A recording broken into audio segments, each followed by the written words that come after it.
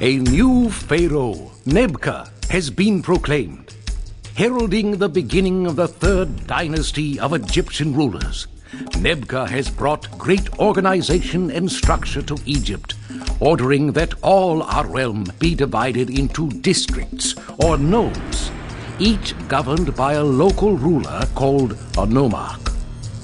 Though this system may seem rigid, under his leadership, Egypt has grown and prospered and made many great achievements in art and architecture.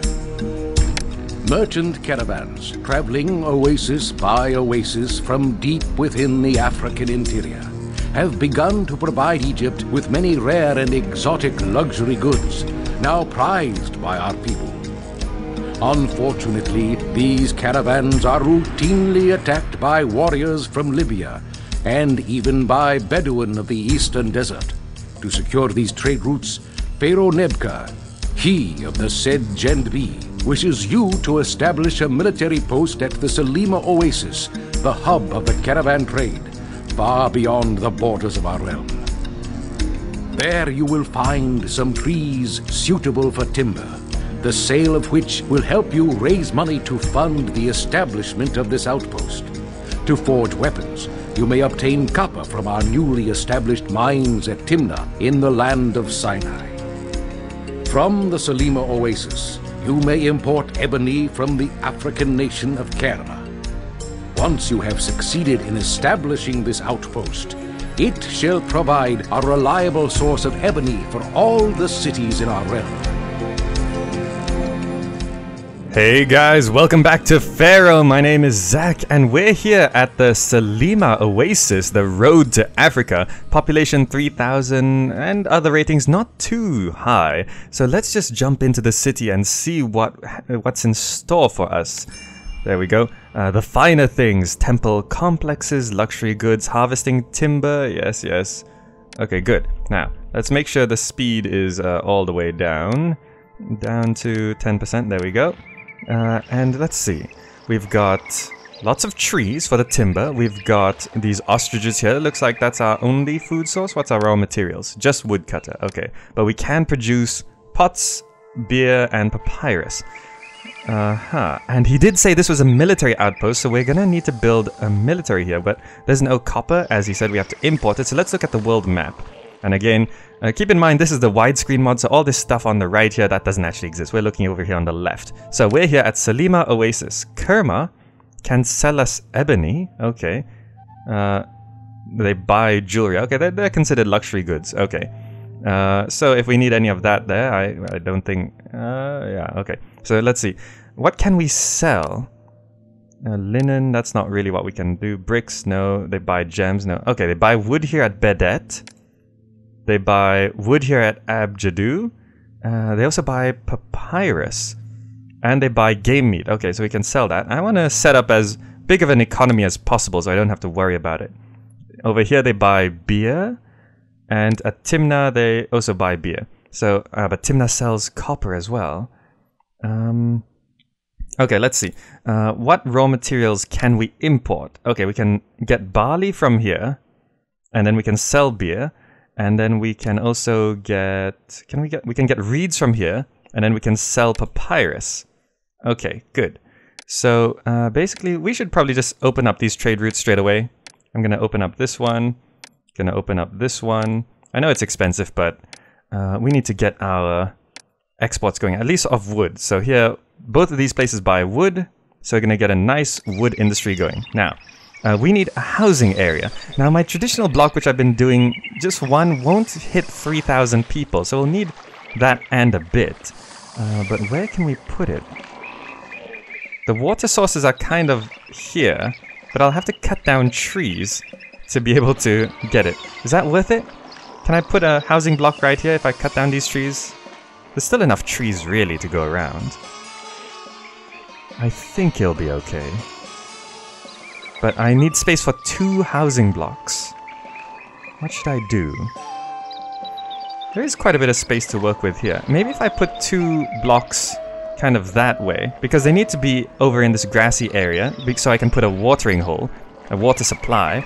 So if I put two two blocks like that, that should work, and then we will only have to cut down a few trees on this side. Okay, so what I'm going to do is I'm going to draw out these housing blocks and see how they look. Okay, there we go. I've spent until I have no more money left. But as you can see here, I've set up a housing area and a space for a second one over here, which I won't touch for now. But here's my housing area in the normal block that I've done, and I've set up eight woodcutters here, and there's not much else going on. Um, I probably should put down my water supply, um, which will be here. So I'm thinking of putting the granary over here, and then I can just have the, the game hunters over here. Granaries over here, then I'll supply both areas, and uh, then the market can go over there. So we just have to wait for people to move in, then this storage yard is going to collect all the wood, and then we can start selling, which we have actually set wood to export when over zero. So let's speed up the game and wait for people to move in, then hopefully uh, our wood exports will take off. Okay, looks like we're making quite a bit of money from selling all of this wood, and we're just deforesting this whole area. And we've also started our uh, game meat production here. When we get a nice stockpile of that up, we'll start feeding these people. Meanwhile, we should look into making even more money. So what else can we export? Just just looking at it, uh, we could, uh, let's see, what can we export? Papyrus. We can import reeds already and export papyrus. So I think we should do that. So let's see, I'm gonna put down a storage yard. Let's see, I'm gonna leave a gap there for them. Put down a storage yard here, and I'm gonna extend this road out. Now this storage yard is gonna be our import area. So I'm gonna, actually no, I'm gonna import reeds to, I suppose, uh, I'll just accept reeds for all now. Uh, and then I'm gonna put a storage yard next to it. We do have plenty of people to work with because there's no real uh, uh, th there's nothing really to make people work in. There's no work camps. So here's gonna accept papyrus. So here's reeds and papyrus set up. And actually, because we're gonna need a school over on that side, I'm gonna set... Ah, I'm gonna set this one to papyrus and the other one to reeds. Just so it's a little bit closer to the school that I'll eventually build. There we go. Now, I'm gonna have to go to the trade area. I'm going to export papyrus when it's over 400. And I'm going to import reeds to maintain 1,200. I don't know. How, how many can we actually sell? Uh, papyrus. The, who's buying papyrus? It must be here.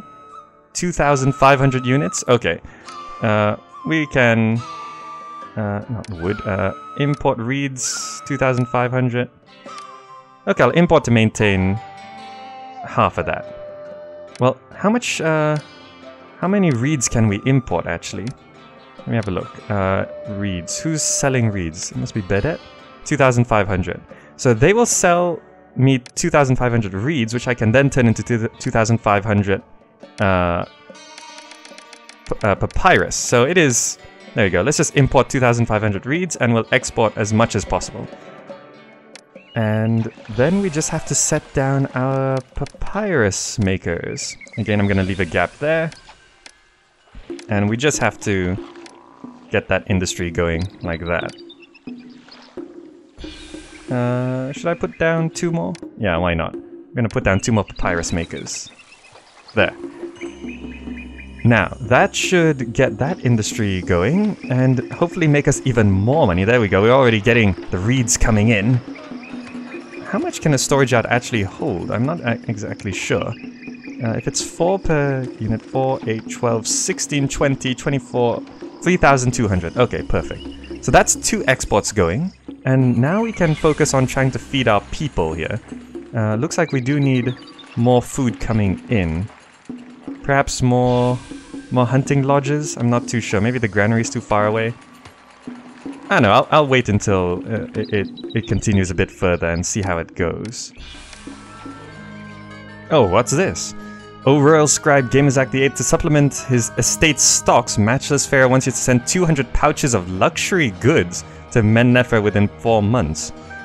Huh, okay. Luxury goods. I don't think we can import gems. I've been looking around and Kerma sells luxury goods. we can't import gems. I don't think we can even build jewelers. So he wants us to import luxury goods from Kerma and then give it to him? Well, that's kind of expensive, but I guess I'm gonna have to do it. Okay, let's see. Luxury goods I'm gonna import to maintain 400. I guess that's how much he's gonna try ask for. And now we gotta make space. Uh, ooh.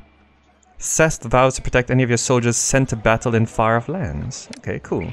Now, where can we put these luxury goods? We gotta stock it somewhere. I guess, uh... These reeds? The papyrus. I think we could make some space here. If we set this down like that, because we're going to be selling off the reeds, we can uh, double up the usage of this storage yard. Now, looking at our food supply, it's starting to look better. We could probably start feeding some people. I'm going to put down two bazaars, as usual, because just to make sure there's enough space here. And that should start raising our population, because we are a little short on workers. Actually, that's quite a lot short on workers. So let's hurry up and get those people fed. Um, and I just noticed I built these three temples in a place where I'm supposed to do a double road. so um, then again, the double road is just for a plaza, so I guess we don't really need to double road that. Uh, should be fine. The double road is just for that. But we could... Uh, oh, wait. I wanted to put down some entertainment, but I think we should wait for people to come in first. Alright, let's see these houses evolve. Uh-oh, flames are sweeping through. That's not good. Let's uh, stop that from happening. Uh, uh, the luxury goods I sent off are good. Now, uh, looks like that's that's not going so well. I'm gonna have to... These fire guys just aren't walking where they're supposed to be. I'm gonna put these two down here. Extend this road. And I guess we're gonna have to put down a house back there or something. There we go. Just a couple houses there. And, ooh, what was that? Population milestone, hit a thousand people. Perfect. Now let's clear this up. Come on, put those fires out. Gonna rebuild my papyrus makers. There we go. Looks like we're earning a ton of money, uh, which is perfect. Um, uh, that, those houses there are gonna cause some health problems, aren't they? I'm gonna drop a physician there just because. Uh, uh, so let's see, these houses are now evolving. Food supplies are actually looking a little low. Um, maybe because it's the first flood of feeding. So let's hope our food supply can keep up with the pace. Though maybe I want to um, extend the road out this way a little bit. If I, if I build a road along here, I'm gonna cut down more wood, but I guess we can spare we can spare that. Oh, not more flames. Where? I don't see it. I don't see any flames. Oh, there it is. Wait, there? Why? Uh, okay. Let's just drop down another firehouse. Make sure this doesn't spread. What burned down? That was my dentist. The dentist burned down? Oh, never mind. Gonna build a road out this way. Put down another firehouse and architect's posts. And put down a couple more hunting lodges here. This should get a nice... Ooh, I can't build on animal breeding grounds. Okay. Uh, well, this should get me a nice extra supply of game meat. There we go. Okay, now that my money is actually really, really high, I think I should start my military. So let's slow down the game here. We don't want to waste any time. And let's see, we need to get copper in to produce weapons. This is an expensive land trade route to open, but I'm going to do it. And I'm going to import copper. Import levels to maintain 800. And I have to go ahead and set up a military industry somewhere. And I think I can just set it up at the back here. I'm going to extend this road out this way. Not to the very end, just about there. And I'm going to... Let's see, I need, uh, first of all, firehouse and architect's post right there. And then I'm going to need a storehouse, a warehouse. Uh, let's see. Uh, storage yard, which I can stick right on the end there. And this will accept copper, half and weapons half. There we go. And I then just need to get some... Can I not make pottery? I can't make weapons? Wait, no, it'll be over here. Uh, the weaponsmith. So you need to get like three weaponsmiths, that should do. And I'll also need a recruiter. There we go. So there's my little military industry right at the back there, and I'm gonna need to build forts somewhere. Um, oh, I just realized. I hope they don't attack from this right side here. That's gonna be terrible. But I'm just gonna build three forts over on this side. Uh, let's see. Gonna put down one... Should I just build it along this road here? Yeah, I can give it a bit of space. I'm gonna put uh, some infantry there. And I'm gonna put down two archers. There we go. Uh, so infantry and two archers, that should be enough for, for, this little military outpost. And now we just have to wait for some copper to come in. But meanwhile, this recruiter will be able to start training some archers. Oh, what's this? Military scouts have terrible news to report. It seems a debilitating siege now strikes Kerma. So, Kerma is where I was getting my luxury goods from. Oh, okay. Uh, so, uh, Pharaoh did ask for more luxury goods, so I just gave him some. Looks like I still got 300 left, so hopefully he doesn't ask for 400 or something like that. Now, currently our main problem is our food supply. I'm having difficulty feeding this group right here, let alone um, another housing area. But I don't know how to get more food in. I mean, the hunting grounds are actually down here, the secondary hunting grounds anyway. Maybe I should have built my housing areas down here. This might have been actually a better decision. But oh well, let's see if we can make this work. Um, we can't get any more food. Could we import more food? Uh, anyone sells food? We could import fish, I guess. Um, we could actually import quite a lot of fish if we wanted to. I guess we could... Uh, if we do that... Importing fish, I guess it, it's kind of the best way to, to get something going. Yeah, because this game meat is just not working. Hunting grounds are too far away. Okay, so I'm, I might have to try start importing fish to supplement my food supply. Oh, a foreign army is invading. Because of their dreams of an empire, Libyan army is eager to invade and will reach your city in one year. Good thing we started our military. one year should give us plenty of time to get these forts up and running. Oh, the Libyan army will be here in six months, but meanwhile, I've solved my food problem. All I did was move the granary or yeah, down to here, and suddenly we have a granary full of meat. And look at this, there's, there's so much stored meat. Just a simple system change, for example, making it a little bit more efficient by moving a granary from there to there. Suddenly, we've got a huge surplus of food, which is insane. And now we can fill up two different granaries uh, full of meat, which should give us plenty of food. Looks like we won't have to import fish anyway. And our military is looking good, so six months should give us plenty of time to, to get that all sorted. Now that we've done that, we can start focusing on uh, getting these houses even more evolved. Uh, I know we could import barley and um, clay to produce uh, pots and beer. I, maybe I should do that. It would be the efficient thing to do. Oh, uh, Pharaoh wants 200 uh, luxury goods again. Good thing we stored that up because we can't import anymore from Kerma. Okay, so um, the efficient thing to do would be to import um, clay and uh, uh, to get uh, a nice industry going, which I guess we could do.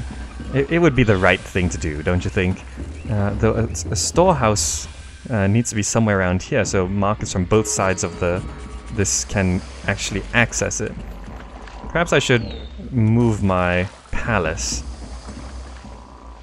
Let's see, can I fit a storage yard anywhere here? Maybe I should move this granary to somewhere less efficient, but probably more worthwhile in the long run. So I'm gonna move the granary over to this side. Um, let's see, for this one I'm gonna do the double road, because we might need those plazas up. There we go. We can get this double road going all the way around. Oh, except we can't get one there. Never mind. Get this double road going all the way around.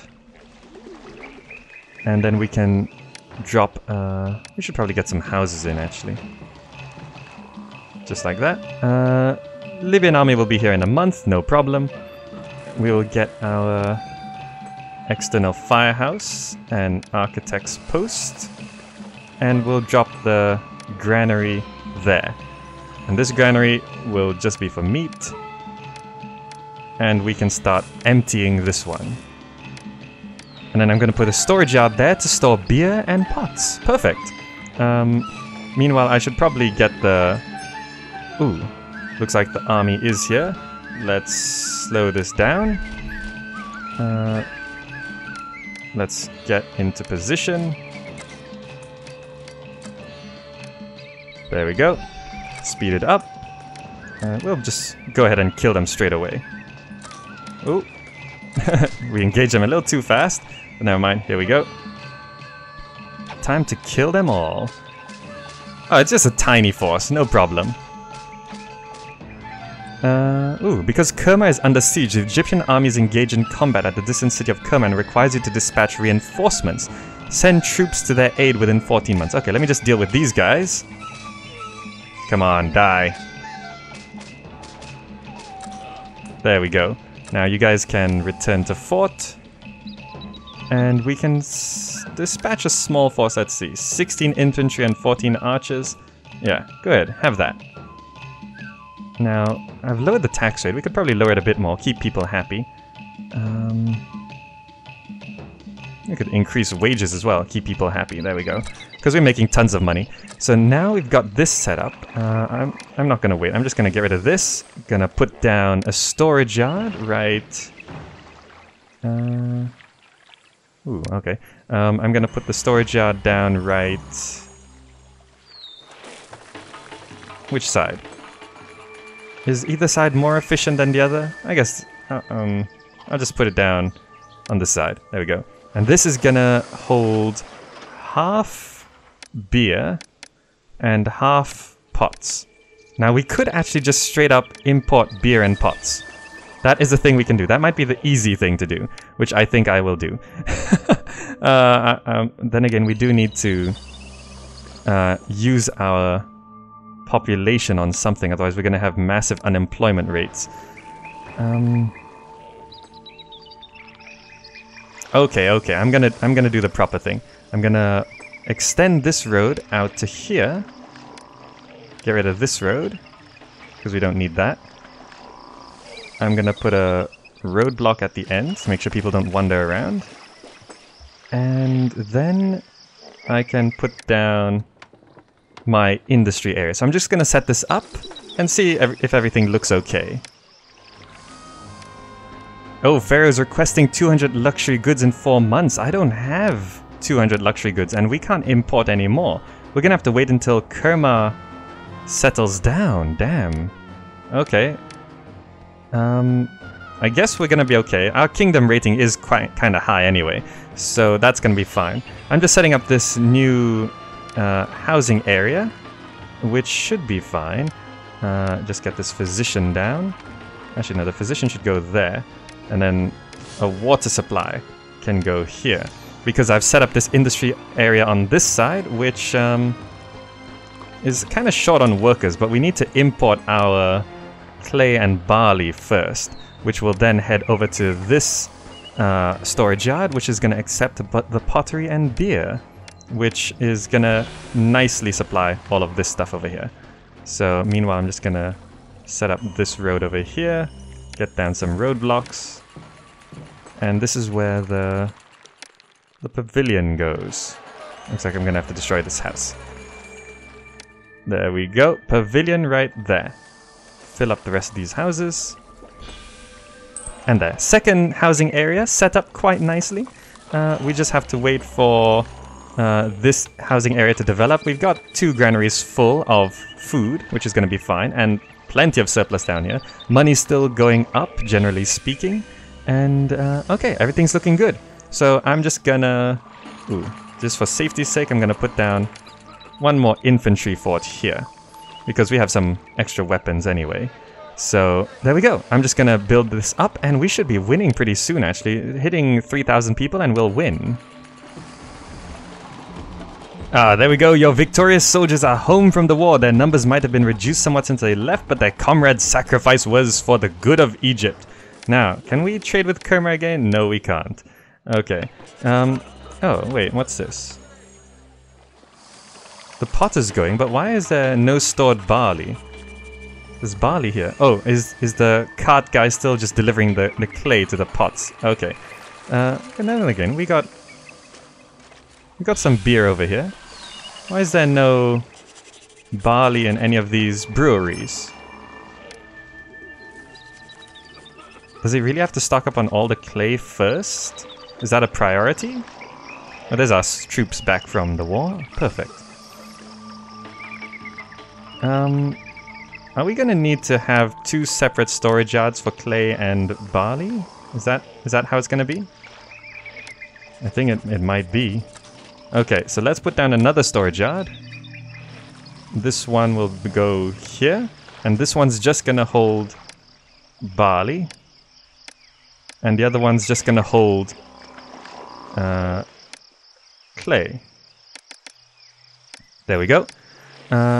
Because I think this, this cart guy is just delivering clay, and he's constantly de delivering clay, and they're producing pots so quickly that none of the... Uh, Let's empty this. Uh, none of the the barley is actually getting to the breweries, which is kind of annoying. Uh, so let's, uh, hopefully we get some more barley over on this side and then we can start getting some beer in. Meanwhile, this housing area has developed very nicely. Uh, it looks fantastic. And actually, considering we we don't have anything to put there right now, we could actually just fill this up with houses as well in the middle. There we go. Why is this not evolved?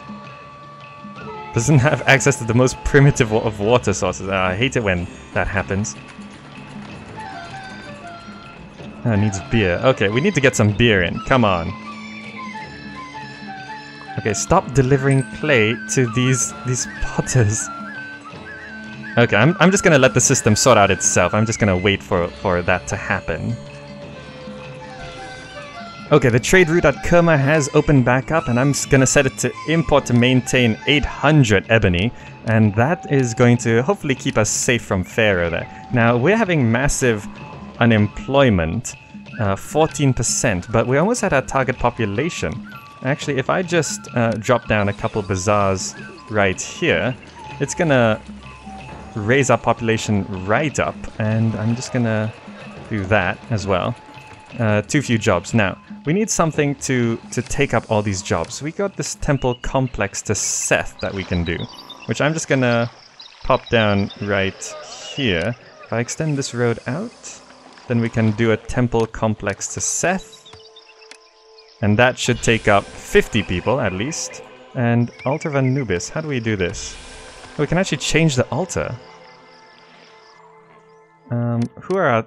Ra and Seth. So, let's see. Temple Complex, Oracle of Sekhmet. Well, this is a military map. Let's put Anubis up there. Can we put anything else? Oracle of Sekhmet. There we go. We'll put that in. These things are expensive, I think. And there, our temple complex is done. And that takes up 50 people, but we still have 117 people unemployed, and we're gonna get another 500 people in before we win this map. Uh, so that's not good. Uh, meanwhile, we still haven't gotten rid of all this clay and the barley's still not going out. So let's go ahead and try and... What can we... What can we put in? Let's just dump down... Oh no, that's bad. Just dump down more weaponsmiths because why not? Uh, just to kind of fill that up. And just to counter the desirability. There we go. Now, uh, I'm just gonna speed up the game and hopefully we'll reach 3000 population because I put two markets here and they're gonna have food soon, which is fantastic. Oh, there we go! We've won! Uh, we went into massive debt, our beer supply ran out, and all of these houses uh, devolved. But uh, this is a military map anyway, so we don't have to make it look nice. Uh, we just managed to sort out our beer supply over here, and uh, well, uh, it doesn't really matter in the end, uh, because uh, we just needed the people. Alright, well there we go, let's proceed! Well done! You have met the twin challenges of securing an important trade route and building a prosperous city that provides for even the most discriminating citizens. Your achievement is truly noteworthy.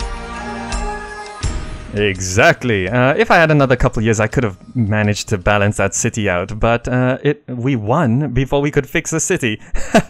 well, uh, that's it for the Selima Oasis map. Thanks so much for watching, and I'll see you in the next video.